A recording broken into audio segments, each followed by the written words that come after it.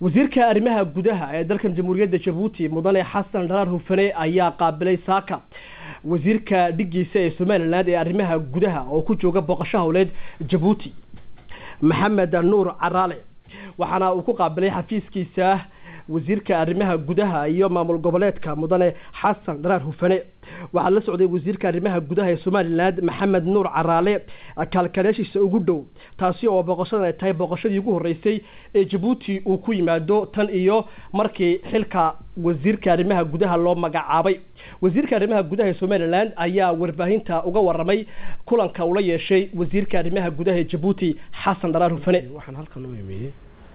sii xoojinta xidhiirka walaaltinimo ee ka dhexeeya labada dal gaar ahaana wada shaqaynta aanu yeelanayno iyo isku xidhka aanu yeelanayno wasaaradda arrimaha gudaha oo ah anna maadaamaanu ahay wasiirkai arrimaha gudaha somalilan sidii gacmaha laysu qabsan lahaa sidii nabadgelyada looga wada shaqayn lahaa sidii laysu kaashan lahaa.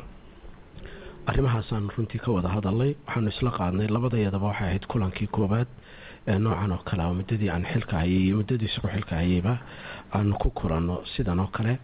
Runtii waanu isla garanay in xidhiirhka jira la sii xoojiyo la sii kordhiyo nabadda geeska africana guud ahaan looga wada shaqeeyo. Sidoo kale nabadda somalilan waa nabad shacabka guud u dana. Sidoo kalena nabadda jabuutina waa nabad shacabka guud ahaanba u dana. Nabaddaa sidii looga wada shaqayn lahaa meelna looga soo wada jeesan lahaa cadowga guud ee nabadda. Meel kastuu joogo taa waanu isla garanay. Waxaa kaloonu isla garanay insha allah mustaqbalka sidii loo ambaqaadi lahaa guddiyo wada jira oo arrimaha gudaha ee jabuuti iyo arrimaha gudaha somalilan sidii xuduudaha iyo nabadgelyada iyo xidhiir joogta iyo kulamo joogta ay u lahaan lahaayeen.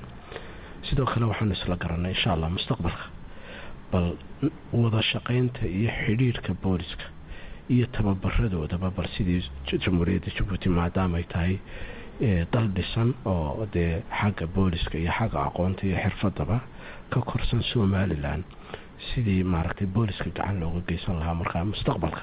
Waxaanu isla garanay wada shaqayn buuxda iyo adkeyn xidhiirka